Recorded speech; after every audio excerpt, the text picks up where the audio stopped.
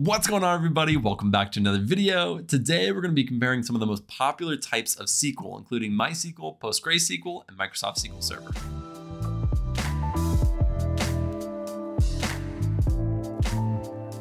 Now, when I was first starting out, I had no idea that there were different types of SQL. I just thought SQL was SQL, just like Excel is Excel. It's just a tool and everybody uses it the same way. But I started learning MySQL, and then the first job that I got was Microsoft SQL Server, and it blew my mind. It was completely different than what I had studied. And that may be exactly where some of you guys are at right now, which is you're either studying it or you're using one of these types of SQL, and you just realized that there are different types of SQL out there, and you don't know if the one that you're studying or the one that you're using is the best option. So in this video, we're gonna be comparing three of the most popular types of SQL out there. I'm also gonna pull up on my screen each of these SQL databases, kind of walk you through the user interface as well as some of the differences between them so you can really see the differences between these different types of SQL. And then at the end, I'll give you my thoughts on which one I think is the best for different uses and the ones that I personally like the most. So without further ado, let's jump on my screen and take a look at these different types of SQL. So again, we're going to be taking a look at MySQL, PostgreSQL, and Microsoft SQL Server. And I did not choose these randomly. I chose these based off popularity. So if you look at these graphs, they're actually surveys taken from Stack Overflow where people were able to vote on their favorite type of SQL, and these were the results. And so each one of these represents a different year that they took the survey, which was 2016, 2017, and 2018. And so if you look at each of these, you'll notice that MySQL, PostgreSQL, and Microsoft SQL Server are consistently ranking amongst the top. So now I just want to look at a really high level view of some of the similarities and differences between these three different types of SQL. The first thing that I want to look at is whether it is open source or not. And open source just means it is freely available. You can go and download it and use it in any way you want completely free. So looking at MySQL, MySQL is open source and it's actually developed by Oracle. And Oracle has an Oracle SQL, which is kind of their commercialized version, which is paid and you cannot get for free. So MySQL is Oracle's free or open source option. Although they do have upgrades, you do not have to purchase them. And then there's SQL Server, which is not open source. It's a commercial product made by Microsoft, but there is a free version called SQL Server Express, and you can download that and use it, but it has a lot of limitations. And so it's definitely not open source. And then there's PostgreSQL, which is open source and really doesn't have a paid version. So it is truly open source. Now, the next thing that I want to look at is what operating systems these types of SQL are able to work on. And MySQL and PostgreSQL are really going to work on any type of machine or operating system that you have. Really, the only outlier here is Microsoft SQL Server, which only runs on Linux and Microsoft. And so if you have a Mac and you really want to learn Microsoft SQL Server, you might have to boot up a virtual machine or a remote desktop or something like that in order to actually use it, which is just really inconvenient, to be honest. And lastly, what kind of SQL do these types of SQL actually use? Well, there's the standard version of SQL, which is basically your base level of SQL, and it's going to have a lot of the same functionalities and so MySQL and PostgreSQL are really that core type of SQL. The only outlier here, again, is Microsoft SQL Server, where they have something that they invented called T-SQL, which is called Transact SQL, and that sits on top of standard SQL and has a lot of extra functionalities. And so they all are really built on the standard version of SQL. It's just Microsoft who went a little above and beyond to add some functionality that the others don't have. So now I'm to pull up each of these different types of SQL databases so you can see the user interface as well as kind of how they work. So we're going to be taking a look at MySQL first, and I'm using MySQL Workbench. That's what almost everyone's going to be using when they're using MySQL in order to query their data. So right here, I just have a test script um, written so you can kind of see what the syntax of it is. Uh, and you'll note that all of the syntaxes are very similar, but there are some key differences. I'll try to point those out as we go through, but um, you know, we're mostly looking at the user interface here. So here's a query window, and we kind of have that open. So over here, we have our test database and we have our tables. And in this table right here called bike buyers clean, uh, we have all of these columns right here. And so that's the actual table that we're querying off right here. Now, if I take this really quick and I put it down here, I just say um, select star, which means select everything. I can highlight this and I can click this button right here, which is going to execute. And it's going to show me all the data in here. And now I, if I want to run this, I can select this right up here and run. And I can get, you know, this aggregated um, query that I've done right here where we're taking the average income. And if you look right down here, there's actually this output and you can kind of see the different, um, the different queries that we've done in the past, how long they took, and some, you know, useful information. And right up here on the top left, there's lots of different things that we can do. I'm not going to go through all of them, um, but you can get a new tab for SQL and you can start writing new queries. You can create new schemas and new tables and views as well as stored procedures. And if you go up here, you can connect to different databases or manage the connections that you already have.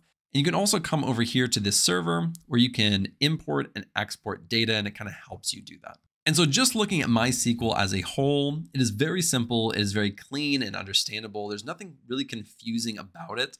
And the syntax is pretty easy and pretty simple to pick up and understand. All right, so let's look at Microsoft SQL Server, and we're actually in something called Microsoft SQL Server Management Studio called SSMS. And so it's somewhat similar in a way to MySQL, right? You have all these options up here, and we'll look at those in just a second you have this editor window, you have this output window. And then on the left, you kind of have this object explorer that shows you the hierarchy, right? So we have our databases. Um, within there, we have our tables. And so if we come down here, this is the one we're looking at right here, this employee demographics. If we right click on it, we can select top 1000. And it's just going to select the top 1000 of all of these. And so uh, you know, it's pretty simple. It's pretty self-explanatory once you actually kind of get a feel for it. It's very simple, um, just like MySQL. One difference I will say, and it's hard to really show this, um, but getting data into a, a one of these databases, uh, I've noticed that it's significantly easier, at least from my opinion, to get data into Microsoft uh, SQL Server.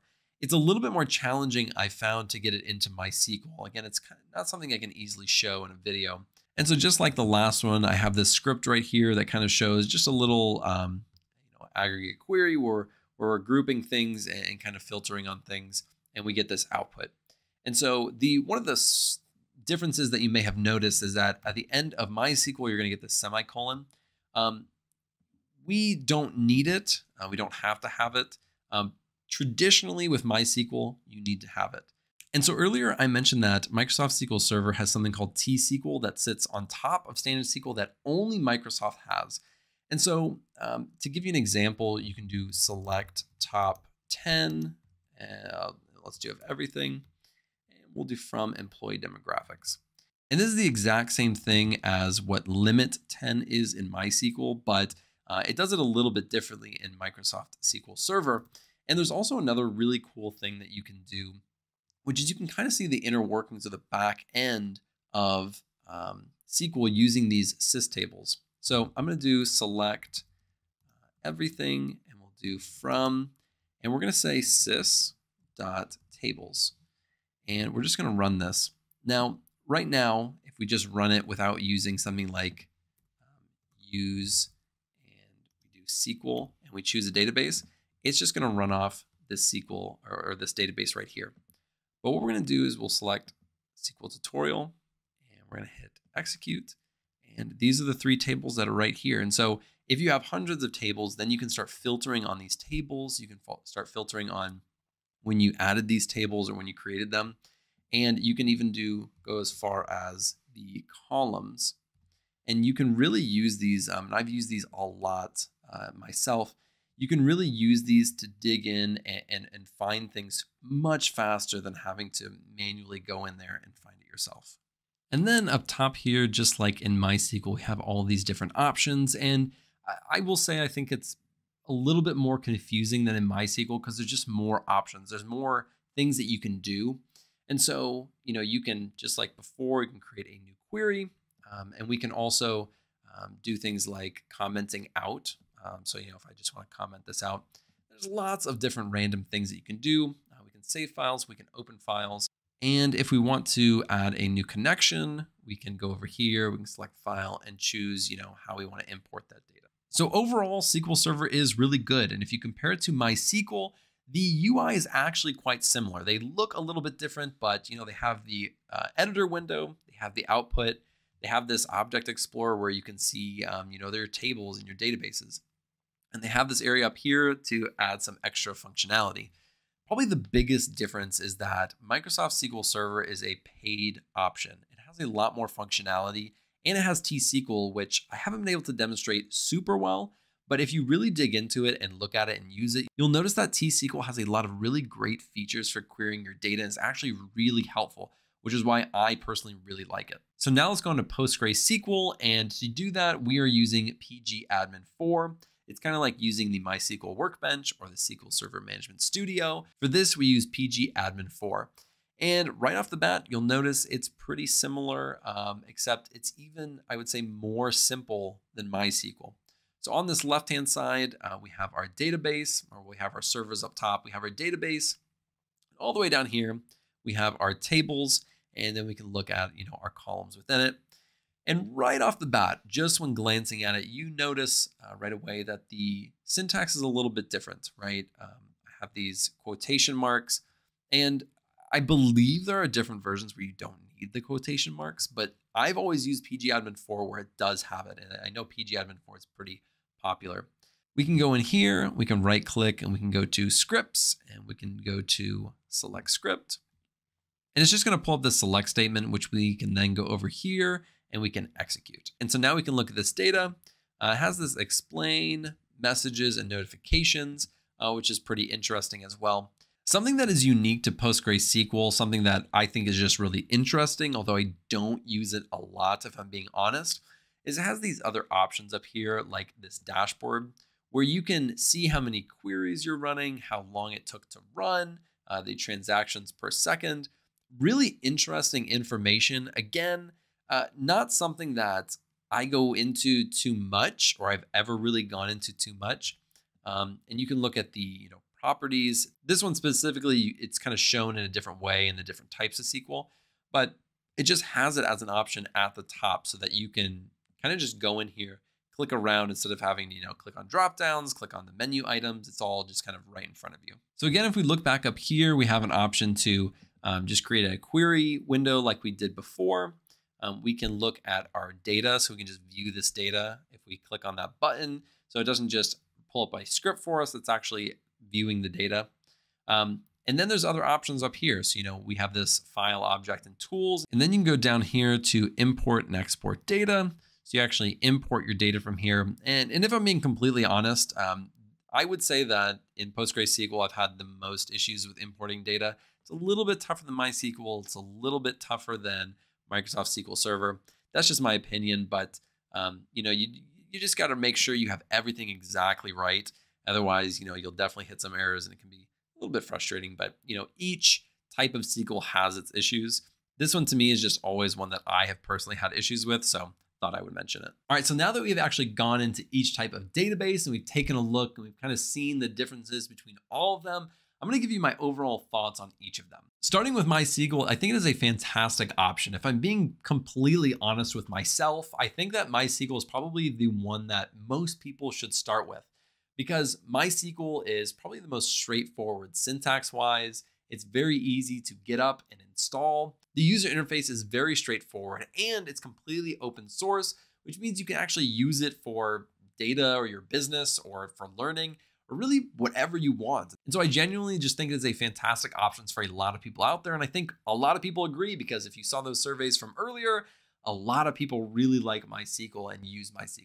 The next one is Microsoft SQL Server. And if I'm being honest, this is the one that I have used the most in my career and I'm super impartial to because I absolutely love it but I don't recommend it over MySQL by just a hair because MySQL is open source. Anybody can use it for anything. And I think that is a beautiful thing. And a lot of people are not going to pay for Microsoft SQL Server. Although I think T SQL is the best. I absolutely love it. I've used it so much. I just think that if I had to choose between MySQL and SQL Server, I would choose MySQL because it's completely free and it always will be and it has no limits because of the free version like SQL Server has. And lastly, we have PostgreSQL, which is really just the biggest competitor to MySQL because they are both open source. I really do like the simplicity of PostgreSQL, but if I'm being honest, I like MySQL's user interface a little bit more. I'm also not the biggest fan of the PostgreSQL syntax. Again, it's just it's just not as intuitive as MySQL. Um, it's absolutely not as intuitive as SQL Server, which is what I think is the easiest syntax out of all of them. But to me, PostgreSQL is really the third option out of all of these. I think that the best one, the one that I would start with, and the one that I recommend right now is MySQL if you were just picking up SQL. So if I had to rank them on which ones I would recommend to you to learn first or to use, I would recommend MySQL first. I just think that it is the best one for the most amount of people. I would then recommend SQL Server. That is the one that I personally have used the most, the one that I personally love the most.